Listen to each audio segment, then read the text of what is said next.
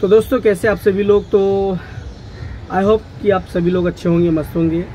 और काफ़ी लोगों का सवाल ये है कि ऑटो रिक्शा कितने में आता है?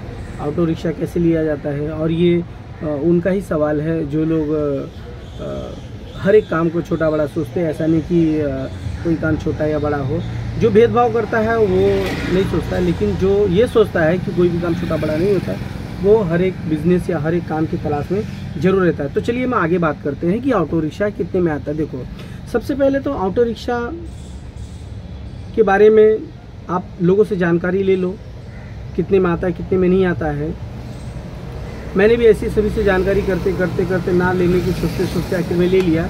तो विस्तार से मैं आपको बताता हूँ कि ऑटो रिक्शा कितने में आता है। देखिए, मैं नया ओनर हूँ, मेरे पास कोई परमिट वगैरह नहीं था। तो परमिट बनाने का मैंने दस हज़ार रुपया दिया है।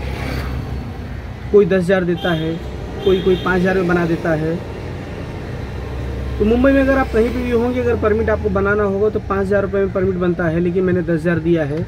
क्योंकि शुरू शुरू का जो एक्सपीरियंस होता है, वो काफ़ी हार्ड होता है, उसमें थोड़ा धोखाधड़ी हो जाता है, थोड़ा प्रॉब्लम्स आ जाते हैं।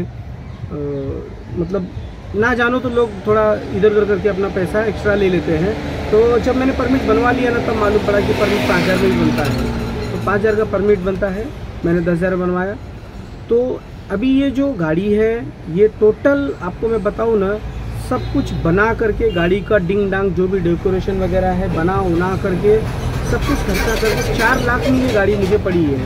ये गाड़ी चार लाख में मुझे गाड़ी पड़ी है, जिसका मैं एक एक करके आपको बताऊँगा कैसे पड़ी चार लाख में, देखो। ये गाड़ी दो लाख छत्तीस हज़ार रुपये की आती है, दो लाख छत्तीस हज़ार रुपये की गाड़ी आती है, जिसमें, इसमें इंश्योरेंस एयरबोर्ड रहता है इनबोल रहता है टैक्स भरना रहता है छोटे मोटे खर्च रहते हैं, ऐसे बहुत सारे एक्सपेंसेस रहते हैं, जो जोड़ करके आपको एजेंट लोग बताएँगे।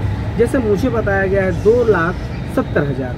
मतलब टोटल गाड़ी लाने के लिए दो लाख सत्तर हज़ार जो है, उन्होंने बताया। उसके बाद तीस हज़ार रुपया डाउन पेमेंट यानी कि गाड़ी टोटल मेरी कितने की हुई?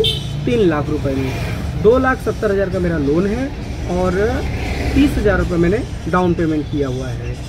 तो यानी तीन लाख की गाड़ी होती है, ठीक है? तीन लाख की गाड़ी मुझे मिली है। उसके बाद मैंने बजाज महिंद्रा फाइनेंशियल से इसको लोन कराया हुआ है। जिसका लोन दो लाख सत्तर हज़ार है और जिसकी ईएमआई e मुझे आई है ग्यारह हज़ार रुपये भरने के लिए महीना। ग्यारह हज़ार रुपये महीना भरने के लिए आया हुआ है और ये मैंने ग्यारह हज़ार रुपये खुद से बोला है कि ग्यारह हज़ार का ई e रखो शॉर्ट में रखो। तो ग्यारह हज़ार का ई e तीन साल के लिए मैंने बनवाया हुआ अगर पाँच साल के लिए मैं बनवाता तो साढ़े सात हज़ार या आठ हज़ार ऐसा ईएमआई आता। तो मैंने इसको ग्यारह हज़ार बढ़ा करके तीन साल के लिए किया है। नॉर्मल अगर आप ईएमआई चाहते हो तो साढ़े सात हज़ार आएगा, लेकिन पाँच साल के लिए आता है। अगर पाँच साल के लिए लेते हो तो डेढ़ लाख एक्स्ट्रा जाता है। और मेरा जो है, अस्सी हज़ार रुपये एक्स्ट्रा जा रहा है।